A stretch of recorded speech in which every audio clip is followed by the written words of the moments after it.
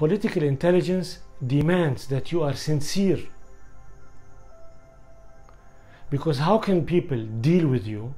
How can you establish connections and relationships and alliances, partnerships, if people don't feel that you are sincere? So, matters of integrity, credibility, honesty, truthfulness are fundamental and paramount. In fact, it would be foolish politically if you sacrifice any of those. If these descriptions are not part of your reputation and brand, otherwise, how can you even succeed?